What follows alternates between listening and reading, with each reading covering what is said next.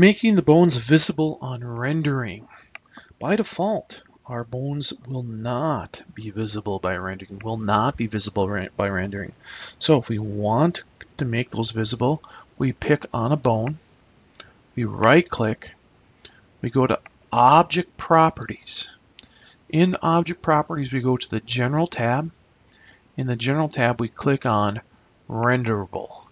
And so once we have the renderable on and say OK, uh, this bone will show up in our renderings. So by default, they are not visible in renderings.